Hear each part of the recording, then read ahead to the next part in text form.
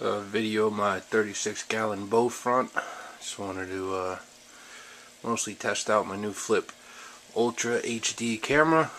Um, yeah, that's about it. There's goldfish in there right now, nothing special, couple comets.